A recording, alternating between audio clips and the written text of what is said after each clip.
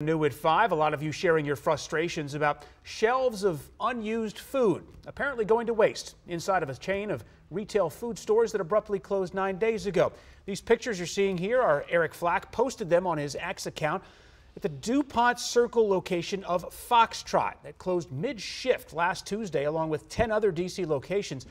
The power is off, which means all those perishable goods you're seeing, milk, cheese, meats, well, they've all spoiled. There are still shelves and shelves of non-perishable items just sitting there, locked up inside, and that brought a lot of angry comments online. The D.C. area chapter of Food Rescue U.S. tells us she tried to get access to those crackers, chips, and more to get donated to the needy, but she's been unable to reach any of her local contacts from the now shuttered company to gain access to that food. WUSA9 has also been unable to find contact information to reach Foxtrot or its parent company for comment. Now, by the way, these pictures were taken about 20 minutes ago.